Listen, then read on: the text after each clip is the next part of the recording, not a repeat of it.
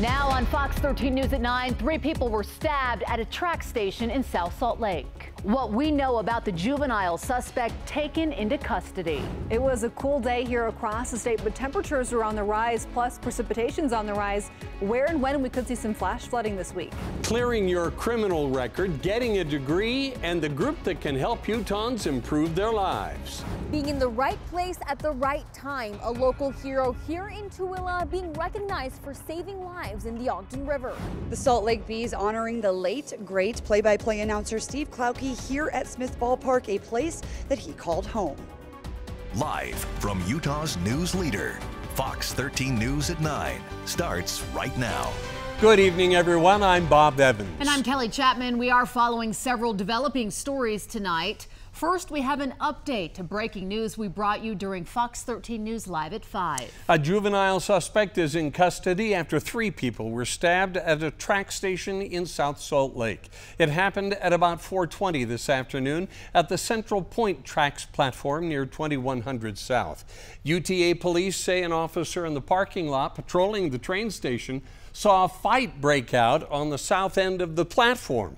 That fight left one adult and two juveniles, all related, with stab wounds.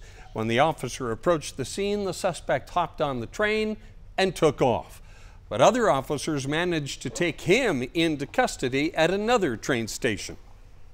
It's a rarity. We, we actually have a really low, low crime rate for the volume of people that we move during the day. So um, people may not know it, but um, as, as, a system, we move nearly 100,000 people daily. Um, and so when we have an incident like this, obviously we take it serious. Um, we respond quickly and we handle it appropriate. Police say this was an isolated incident. The three victims were taken to the hospital with non-life threatening injuries. A hazmat incident near I-15 and Millcreek closed roads and prompted evacuations this afternoon. Unified Fire says they got the call at about noon from someone at a business near 210 West and 3900 South. UFA says there was a chemical reaction inside a 55 gallon barrel outside a business. That barrel was very hot and there was white smoke coming out of it. The business had to evacuate and so did the shop next door. Firefighters don't know what kind of chemical it was, but they do know there's a lot of chemicals used at businesses in this area. Working closely with the Salt Lake County Health Department, we have been told that once this chemical solidifies and is done, then it just turns into a solid waste which the, the business owner can expose of. Luckily, no one was hurt or exposed. UTA also had to shut down the northbound and southbound TRAX lines for a time. However, they are back open tonight. New at 9, the Justice Department announced its findings today that Utah is violating Americans with Disabilities Act. The DOJ says Utah has been unnecessarily segregating youth and adults with intellectual and developmental disabilities during the day instead of helping them find work and spend their days in their communities. They found the state relies on segregated settings, such as sheltered workshops where people with disabilities have limited interaction with others without disabilities. What the DOJ found is that currently with the system of employment supports for the population in our state of people with intellectual and developmental disabilities, they are not being given the opportunity to be um, really work in community-based or uh, integrated settings.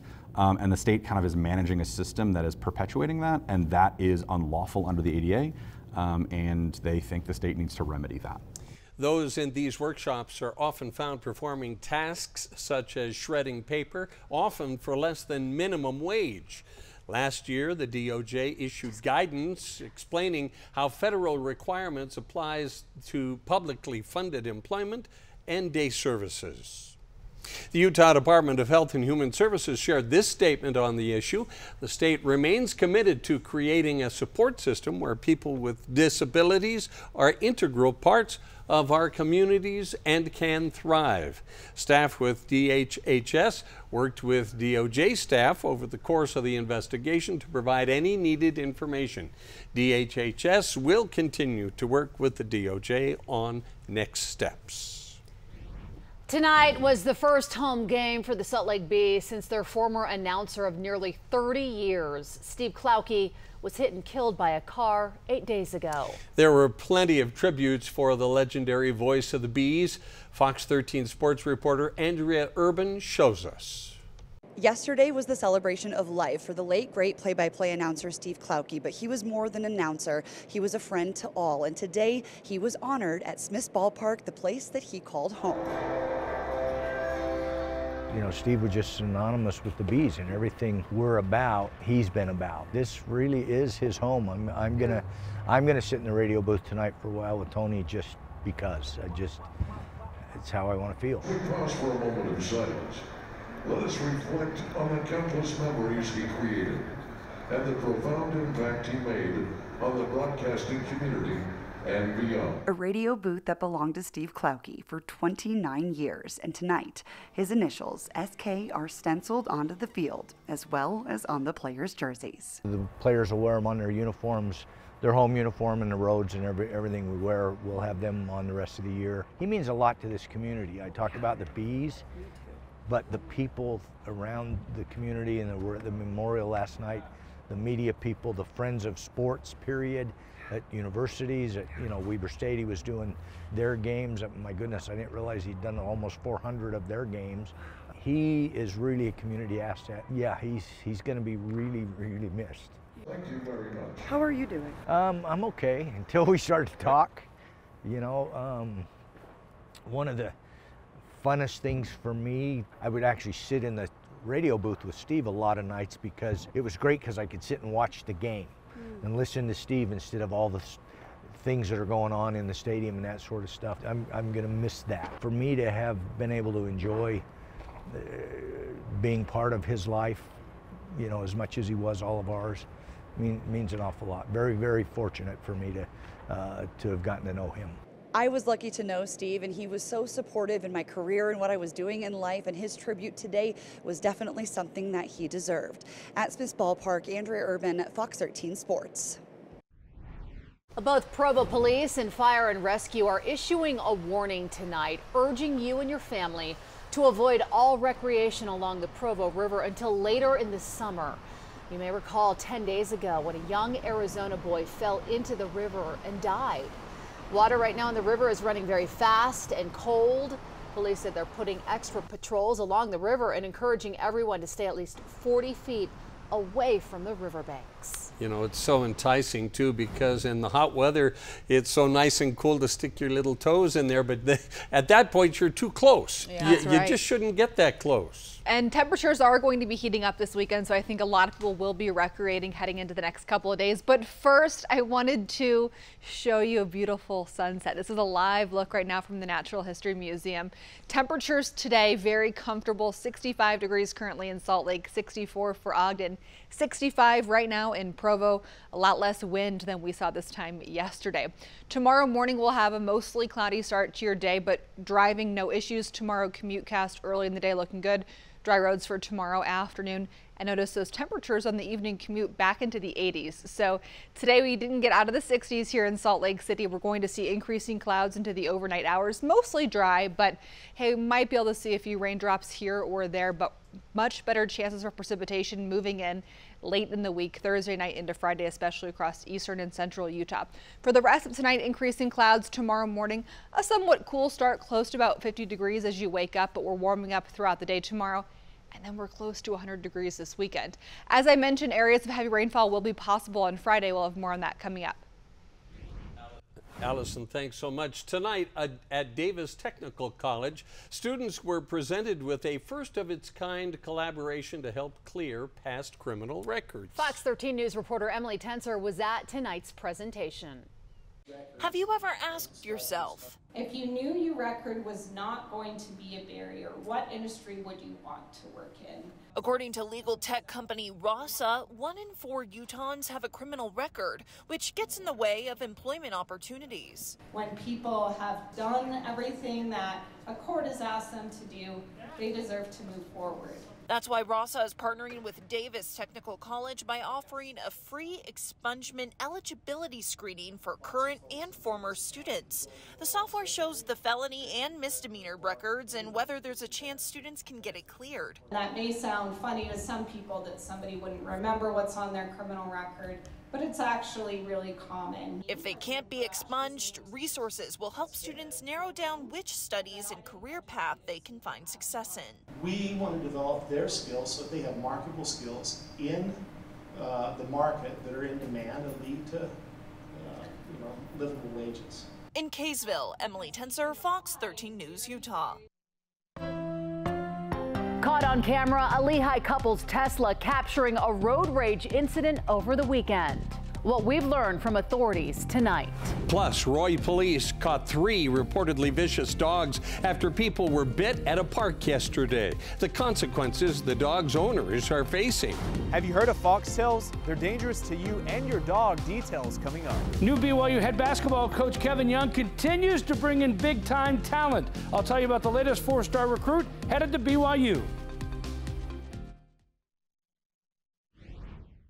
An Idaho judge has issued an order to permanently seal 97 exhibits from the murder trial of Chad Daybell. This after the court received multiple requests from the media and authors wanting to publish information about the case. The order indicates some of those individuals were expressly requesting autopsy photos, which the jury saw.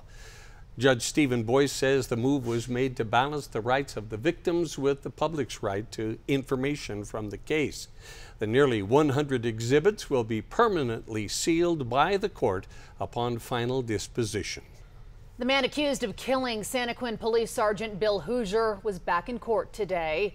Michael Jayne is facing several charges, including capital murder. There is some concern Jayne's current attorney cannot handle a capital case. Today in court, the prosecution said they've already secured a new defense attorney for Jayne. They just need to sign the contracts. But Jayne, through his current attorney, objected to that, saying he doesn't want the Utah County Attorney's Office choosing who represents him at trial. The judge scheduled a new hearing for July 2nd. The founder of the former anti human trafficking organization Exodus was denied bail today in her embezzlement case. Candace Rivera is accused of embezzling tens of thousands of dollars, which people donated to help fight human trafficking. During her court appearance, she waived her right to a preliminary hearing. An arraignment hearing has now been set for August 22nd. The judge did say an earlier date could be negotiated. Bluffdale's former fire chief, John Roberts, has pled guilty to misusing public funds. He's accused of falsifying government records to play Bluffdale firefighters for days they did not work. The estimated overpayment of wages is more than $128,000. In Summit County, a dump truck driver had to be rescued after they drove 200 feet off the road and down a ravine this morning. Happened just before 11 off Tollgate Canyon Road. Crews from North Summit and Park City had to cut the truck driver out of his cab. He was flown to a Salt Lake Valley uh, trauma center. His condition is unknown. In Weber County, a mountain biker was flown to a hospital in serious condition after crashing on Wheeler Creek Trailhead. This happened at about 5:30 yesterday. The Weber Fire District says the victim lost consciousness and sustained head and facial injuries. First responders, along with bystanders, worked together to help bring the mountain biker to safety. As we get closer to the 4th of July and Pioneer Day, Tooele County authorities are reminding you about fireworks restrictions. Tooele City posted a map on social media of this year's fireworks restrictions. The areas shaded in red mean fireworks are not allowed. Fireworks are also prohibited at all Tooele City parks. The city's fireworks show takes place on July 5th. We're talking about these big summer celebrations, yeah. and summer officially starts this Thursday. You would never know by the way it felt today in Utah. yeah, that's right. Yeah, we've already had our first triple digit of the year, and then today we only made it into the 60s here in Salt Lake today. This is well below average. At this point in June, we're typically into the mid 80s here in Salt Lake City. And tomorrow we're going to be returning much closer to normal. Let's go ahead though and start with a live look from downtown Salt Lake City from the Salt Lake Tribune camera. This is facing south right now. A beautiful evening here in Salt Lake City. 65 degrees. Wind is currently out of the north at 10 miles per hour. Main weather headlines today below average, warming up for Wednesday. And then we're going to have a lot of heat this weekend, but the next big thing to get through is going to be quite a bit of precipitation moving in from the Gulf of Mexico into eastern Utah on Friday, potentially some areas of flash flooding concerns. But for tomorrow in Salt Lake, we're back into the 80s, 82 for a high warming up, but we're still going to be below average for tomorrow. And then as we look at Futurecast over the next couple of days, we'll see some clouds at times in northern Utah, but by Thursday evening down towards the Four Corners, we start to see some increasing precipitation. Then throughout the day into Friday, this is when we see our heaviest precipitation moving into the region and we're likely going to see our biggest totals down into southwest Colorado down towards Durango. But for us in eastern Utah and central Utah, I want you to stay weather aware on Friday. We have the possibility of seeing some pockets of very heavy precipitation in areas that are prone to flash flooding, Slot Canyon, storm dry washes, recent burn scars, all areas that we're going to want to stay weather aware heading into Friday for. Satellite and radar tonight, increasing clouds as expected, making for a spectacular sunset tonight. And we head into tomorrow morning and we're going to have our temperatures cool, but not as cold as it was this morning. It'll be close to about 50 degrees early tomorrow. And then we're warming up tomorrow back into the 80s and we are close to 100 degrees for this weekend. Salt Lake City right now, wow, the sunset keeps getting prettier and prettier. Live look from the Natural History Museum. Temperatures overnight here in Salt Lake, low 50s, about 4 a.m. through 6 a.m. By 8 o'clock in the morning, we are back close to 60 degrees here in Salt Lake City. So waking up on Wednesday morning, 40s and 50s here for most of the state, dropping into the 30s for areas like Park City. Definitely need a sweatshirt tomorrow morning. 64 for St. George early in the day. And then for the Wasatch Front tomorrow, our temperatures are going to be rising into the low 80s around 4 o'clock tomorrow. Air quality is moderate. UV index is very high for tomorrow. St. George, your chance of precipitation is going to be very low throughout the seven day forecast, and you've got a lot of heat tomorrow mid 90s. We'll talk more about that chance of precipitation coming up later in the hour, but tomorrow we are going to be returning to the heat or at least starting to return to the heat. But tomorrow in St. George, upper 90s, 102 for Thursday, near 100 degrees on Friday, close to 105 to 110 heading into this weekend and early next week. For the Wasatch Front, we have low 80s tomorrow, low 90s Thursday, Friday, and then we are close to 95 to 100 degrees starting on Saturday. We'll talk more about that increasing moisture heading up later in the hour. We'll be right back. In national news, the CEO of Boeing went before Congress today and apologized to the families of victims who died in two crashes on 737 MAX jetliners. The apology came during a Senate committee hearing where lawmakers grilled David Calhoun about Boeing's safety concerns. 346 people were killed in two crashes, one in 2018, the other in 2019. This was Calhoun's first appearance before Congress since a piece of an Alaska Airlines plane blew out in January of this year. The Senate released a 204 page report this week with new allegations from a whistleblower who fears defective or improperly documented parts are going into MAX jets. He claims Boeing hid the evidence during an FAA inspection. President Biden's immigration announcement was met with mixed reaction today. He unveiled an executive action to protect the undocumented spouses and children of U.S. citizens. The action would protect about 500,000 families and 50,000 children under the age of 21. The Trump campaign and fellow Republicans blasted the move. House Speaker Mike Johnson tweeted that President Biden is trying to play both sides by pretending to crack down at the border while granting amnesty to hundreds of thousands. Democrats are support supporting the president's actions. The Federal Trade Commission has referred a complaint against TikTok to the Department of Justice. The social media company is accused of violating children's safety laws. The complaint stems from a compliance review of TikTok. In 2019, TikTok agreed to a $5.7 million settlement over violations of the Children's Online Privacy Protection Act. It was accused of illegally collecting the personal information of children. The DOJ will now investigate. A Tooele County Sheriff's deputy being honored tonight for his heroic actions while off duty. The story coming up. Three dogs loose in Arroyo Park allegedly bit several people before being caught. What the owners of those dogs are facing now. Taxpayers may not be getting their money's worth when it comes to mineral extraction on the Great Salt Lake. Details of a big new audit. The hidden danger behind these foxtails details coming up. It's game five of the Stanley Cup final. Will the Panthers lift the cup? Or will the Oilers extend it to another game?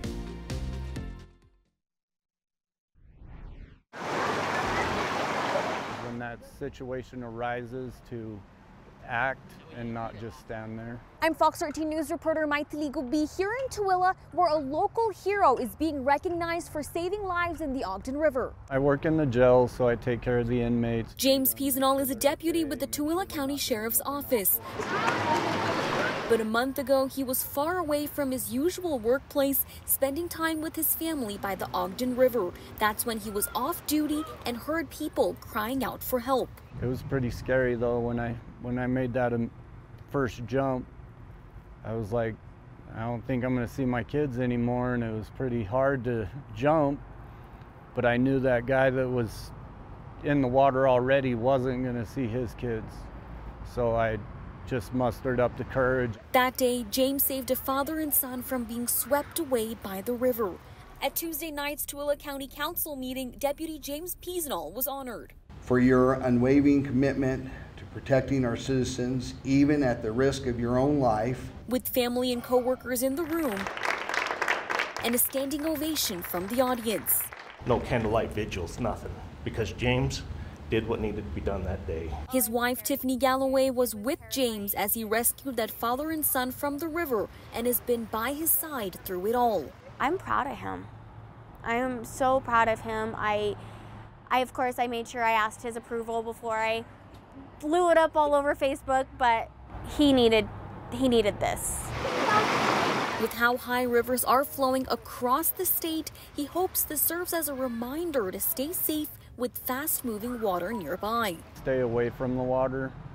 It happened so fast that, you know, if I wasn't there, they'd, they'd be gone. It swept them down like so fast. In Tooele, I am Maithili Gubi, Fox 13 News, Utah. In Box Elder County, one man is dead after a crash on I-84 early this morning.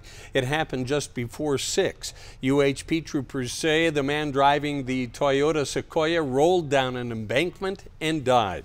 Investigators learned the vehicle and man involved matched the description of a 22-year-old man who stole the vehicle in Weber County. The cause of the crash is under investigation.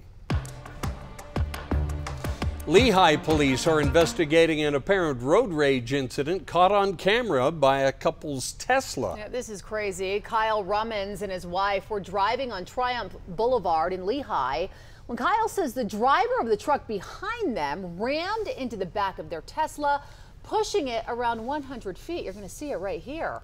All of this captured on video by the Tesla's rear camera. The video shows the driver of the truck then driving off while Kyle says he and his wife called 911. Lieutenant Bart Smith with the Lehi Police Department says because of the video from the Tesla, an officer was able to track down the truck driver, and that driver was then cited. We've now started to look at other potential charges that range anywhere from assault to criminal mischief, felony type criminal mischief, for the driver of the Ram vehicle. I wouldn't be surprised if it wasn't the first time he had done something like that and won't be the last. So that's why I kind of I, I, hope that there's some justice, you know, some real uh, consequences for his actions. Mm, that's terrifying. Reflecting on Saturday's events, Kyle is happy he did not engage with the other driver, but says he would like to see charges. A new road rage law is going into effect on July 1st. It will make it easier for the state to track road rage incidents and increase penalties. The Utah Board of Pardons and Parole is starting the formal commutation process for death row inmate Taberon Honie. He was sentenced to death in 1999 for the 1988 murder of his ex-girlfriend's mother. He is set to be executed by lethal injection on August 8th. The Board of Pardons and Parole is the commutation and pardon process for the state of Utah. So there is no additional recourse. State attorneys have until this Friday to respond to the commutation process, and then it could take up to two more weeks to decide whether a hearing will be granted. You'll be able to watch the commutation hearings through live streaming like most court hearings. Experts say the state of Utah is making improvements in addressing sexual harassment, but it's still well above the national average in one category. These numbers come from the Utah Women in Leadership Project at Utah State University.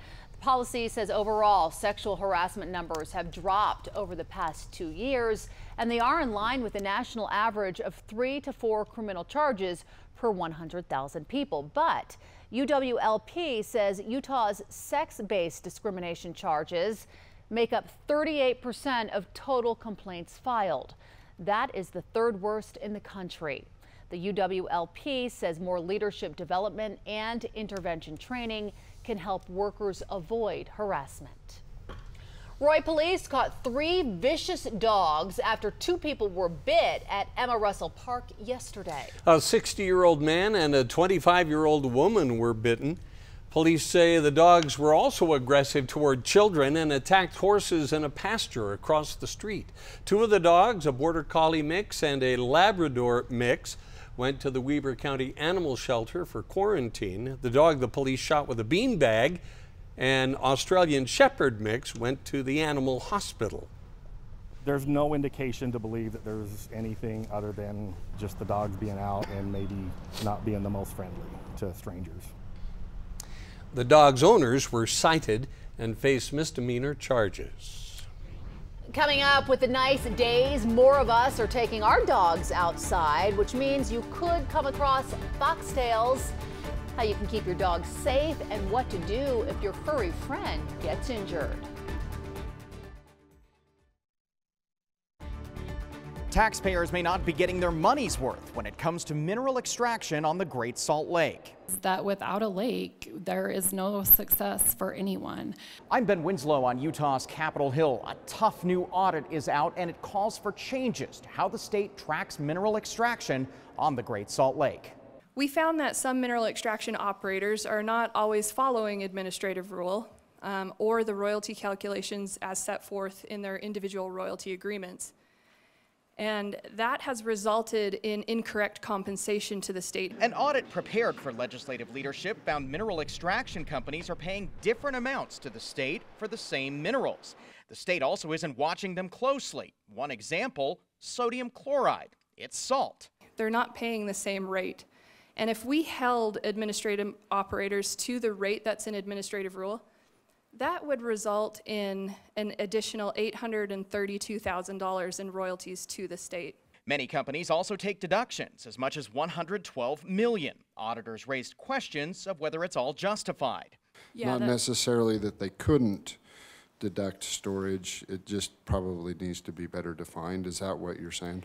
That may be allowable, but that's up to the division to determine. And they questioned whether the money the state is collecting is going to help the Great Salt Lake. The division takes these audit findings very seriously, and in fact, we've begun to implement uh, the recommendations. The Utah Division of Forestry, Fire, and State Lands, which oversees mineral extraction on the Great Salt Lake, requested the audit. A lot of the problems were blamed on prior administrations. There's some discrepancies and there's some things that we need to fix, and now those have been identified, and we can get to work on what we need to do better. The Great Salt Lake dropped to its lowest level in recorded history in 2022. That set off alarm bells on Utah's Capitol Hill with state leaders. In your assessment, as, as you're directing this process, you feel you have the tools to actually collect the royalties that needed to be that need to be collected? Yes or no? Yes. Okay. So moving forward, implementation for getting the royalties to the state funds is not going to be a problem we can get there, um, but we've got the tools in place and, and we'll get this done for sure. Lawmakers have spent hundreds of millions of dollars and passed bills on water conservation aimed at protecting the lake, including bills rewriting rules on mineral extraction. The division's director doesn't believe companies were taking advantage of the state, but changes are coming. It's a different day on Great Salt Lake, and everybody's come to that conclusion. And so we're actively looking at what can be done differently. A lot of the contracts the state has with mineral extraction companies are being renegotiated as a result of bills the legislature has passed and this audit. so it is possible companies could be paying more in the future. On the Hill, Ben Winslow, Fox 13 News, Utah. Also on Utah's Capitol Hill tonight, political leaders were shown graphic video of the October 7th Hamas attack in Israel. What they saw was body camera video shot by Hamas. It was a closed door screening. Utah Senate President Stuart Adams says he put it on at the request of the Israeli consul general to show what happened that day.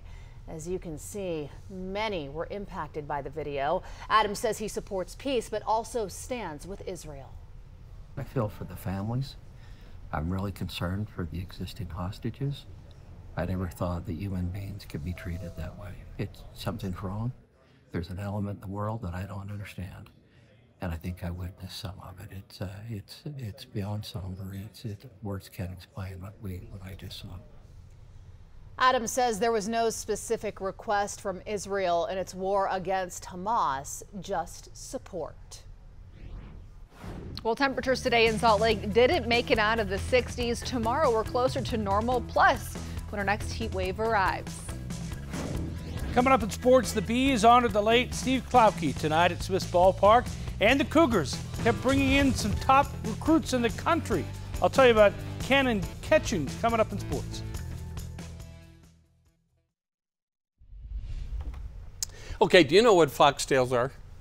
Heard of them? Yeah, well, sure. they they actually pose quite a risk to you and your pet. Yeah, they can be very dangerous. Utah's Weather Authority meteorologist Chris Nunley shows us why you and your pet should avoid the weed.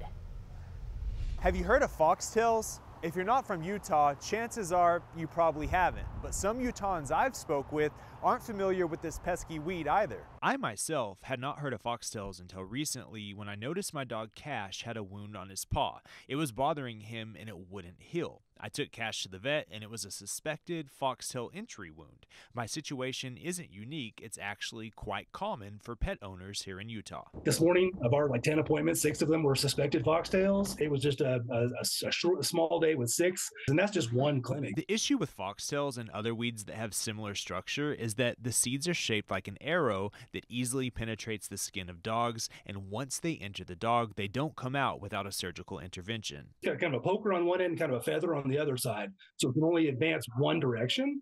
And when it when it advances, it can't back up. So any orifice in their body is is you know is a, a bad place. So you know, eyes, ears, mouth, nose, throat. Um, you can get down to the private parts in the back end of the dog. So any any physical hole they can penetrate through, but they can also attach to the hair itself because of the sticky nature of it and then penetrate the skin as well. If you notice your dog is acting strange, not letting you pet it like normal, licking an area, or you observe a wound like I did, it is possible it could be a foxtail. And the odds are even higher if you tend to recreate outdoors on trails this time of the year. If you notice these signs, it is best to schedule an appointment with your veterinarian. If you catch one just as it's entering between the toes, and you can still see the, the you know the, the feathery portion portion of that, you can pluck that out of there and then maybe treat that with some topical antiseptic or something like that. But if, if you notice a wound, you know, a, a puncture wound in your dog's between your dog's toes and you know they're painful about it then that's when we have to get involved and actually use some medication foxtails are an invasive weed originating in eastern asia but they do particularly well here in utah especially after wet winters and springs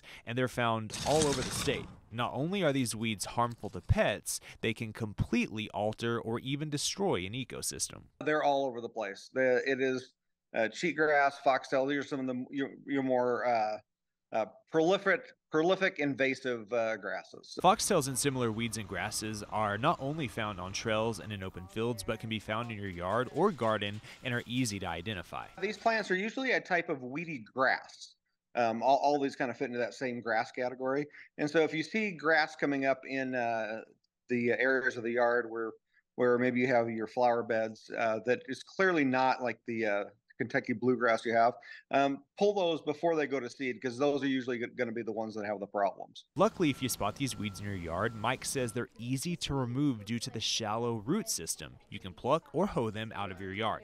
Also, adding a 4 inch layer of mulch in your flower bed can keep them out of that spot. These foxtails aren't only harmful to the ecosystem and to your furry loved ones, but they can be harmful to humans as well, entering through the feet as well as the hands and traveling through the body. Also, Also, a quick update on my dog Cash. He's doing well and he had the foxtails removed from his paw.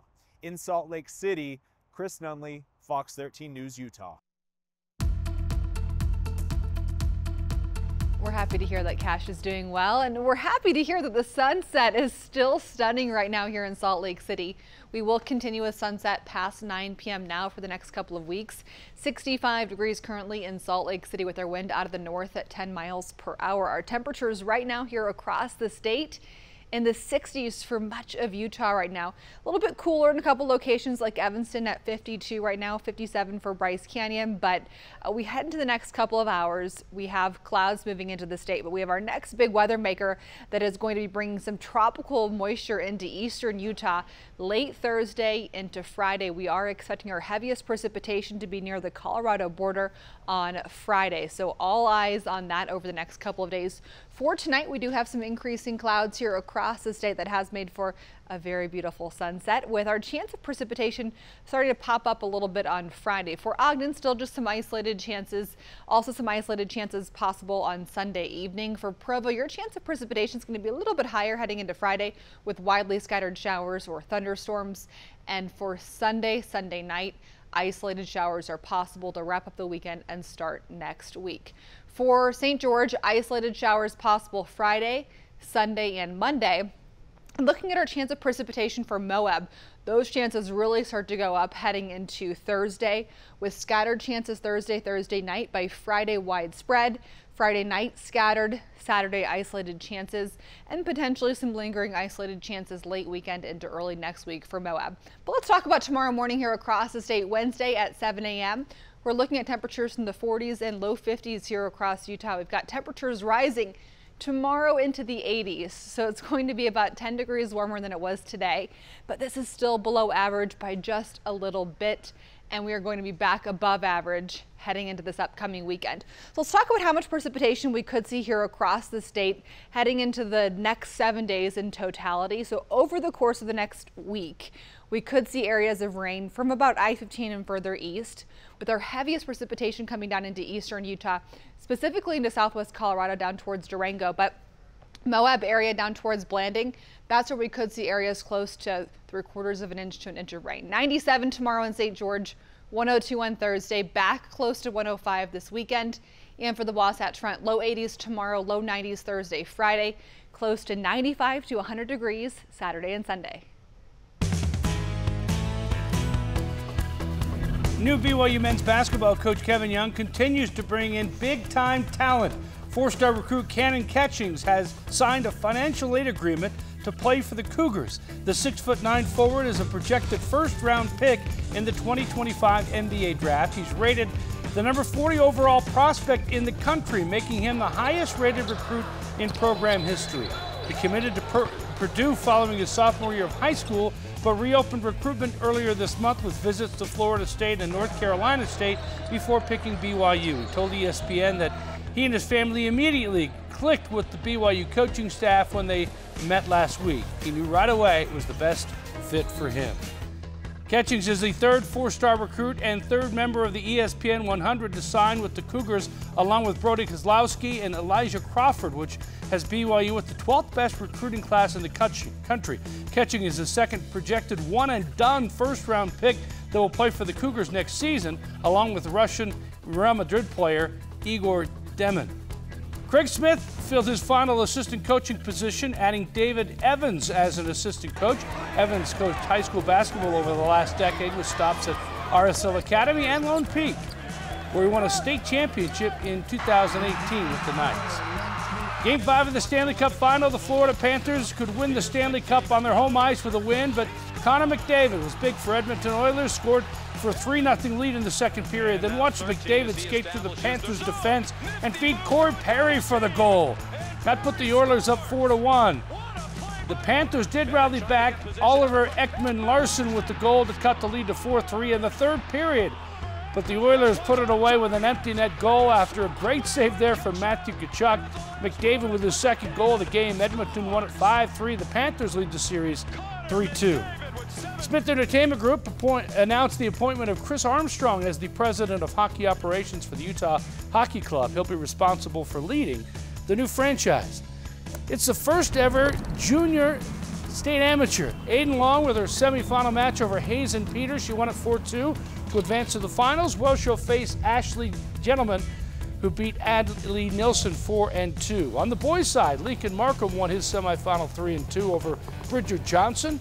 He faces Lance Lofton, who won his match 19 holes over Brock Porter. The finals are tomorrow. There was a moment of silence before the Bees took on Reno to honor the late Steve Klauke tonight.